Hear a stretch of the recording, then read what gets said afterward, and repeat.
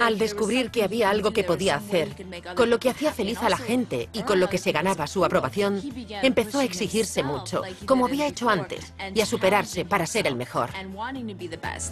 Había encontrado su vocación y una aparición en televisión estaba a punto de darle la oportunidad de lograr un gran éxito. En 1970, Julio Iglesias, un joven de 27 años, se había enamorado de la música. Trabajaba tanto en la composición como en el canto, intentando entrar en el negocio. El Festival de Eurovisión le proporcionó la oportunidad que necesitaba. Eurovisión es un gran escaparate desde los años 60. Cada país tiene un representante y el ganador consigue un éxito internacional. Julio representó a España con su canción Gwendolyn.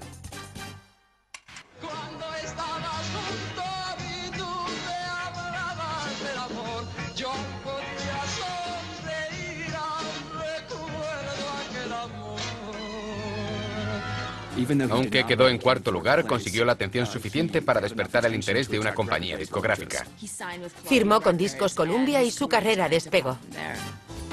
Rápidamente, Julio se hizo un nombre en España cantando en su lengua materna y centrándose en letras románticas y estructuras simples. Gran parte de las grabaciones de Julio eran música tradicional. En cierto modo, su estilo era más similar a la música pop del pasado. Poco a poco, Julio fue consiguiendo éxito en otros países europeos atrayendo a legiones de fans. Julio Iglesias irradiaba sensualidad y al cantar canciones de amor, de pérdida y de deseo, aumentó su atractivo para mucha gente. Su imagen de Don Juan español, junto con sus letras, atraía mujeres de todo el mundo. Si piensas en Julio, piensas en canción romántica. Tiene una manera de cantar muy suave en casi todas sus grabaciones y eso hizo que conectara con el público. En 1971 fue de gira por Europa y Latinoamérica e hizo innumerables apariciones en televisión. Conforme aumentaba su popularidad, aprovechaba su nuevo estilo de vida, disfrutando al máximo.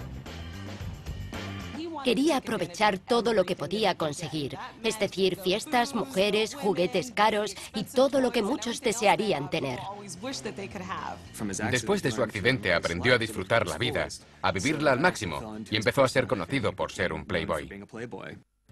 Después de algunos años disfrutando de su fama, conoció a la mujer que supo domar sus apetitos, la espectacular modelo filipina Isabel Preisler. Cuando la conoció, dijo que renunciaba a amar a otras mujeres porque quería formar una familia con Isabel. Julio estaba empezando a darse a conocer cuando conoció a Isabel. Era la mujer perfecta para él. Tenía un halo de pureza e inaccesibilidad que para un hombre que podía tener a cualquier mujer resultaba muy excitante. Tras un noviazgo de siete meses, se casaron en enero de 1971. Julio e Isabel eran la pareja perfecta. Ella era una antigua modelo y él un atractivo y prometedor cantante. Después de casarse no tardaron mucho en tener hijos. Primero llegó Chabeli, la hija mayor, después Julio Jr. y después Enrique. Querían formar una gran familia enseguida. Pero conforme la familia de Julio crecía, también lo hacía su fama y con ella su ambición. Julio pasó los primeros años de vida de sus hijos en la carretera o en el estudio, y pronto fue evidente que la vida familiar no era su punto fuerte. Siempre estaba viajando y se convirtió en un padre ausente. El hijo menor de Julio e Isabel, Enrique, fue el más afectado por esas ausencias. Enrique nació el 8 de mayo de 1975. Ese mismo año Julio sacó al mercado su álbum El Amor. Con los tres hijos que tuvo con Isabel fue un padre ausente. Le encantaba la adoración del público. Era casi una adicción para él. Como padre no era un ejemplo.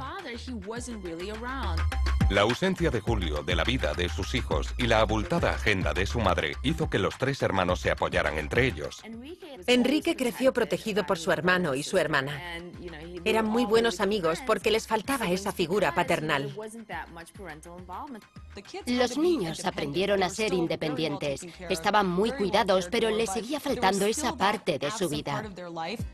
Con su familia en casa, Julio no paraba de actuar. Cuando estaba de gira, seguía siendo el Latin Lover de antes.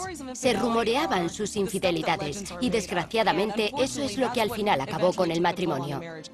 En 1978, Julio e Isabel se separaron. Enrique solo tenía tres años.